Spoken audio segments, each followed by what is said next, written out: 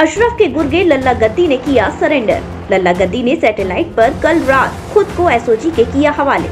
Jail में बंद अशरफ से अवैध मुलाकात के मामले में चल रहा था वांछित। लल्ला गद्दी के खिलाफ बिथरी चैनपुर बरादरी थाने में दर्ज है केस।